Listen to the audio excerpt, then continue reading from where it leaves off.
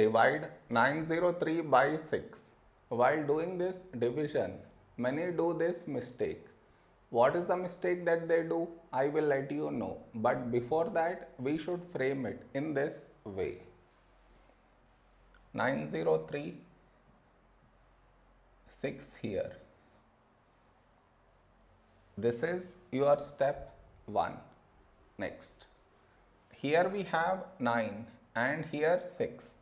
A number close to 9 in 6 table is 6 ones 6. Now we should subtract. We get 3. After this, bring down the beside number. So 0 down. So 30. When do we get 30 in 6 table? 6 5s 30.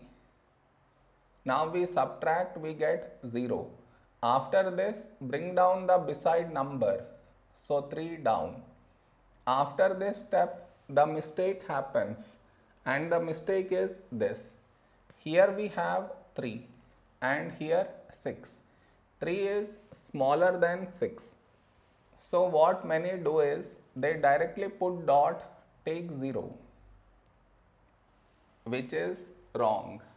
Why is it wrong? Because just now you brought this number down and in the same step you want to put dot take 0 which is wrong. I repeat bring down the number and also put dot take 0 bring down the number and put dot take 0 both at the same step you should not do.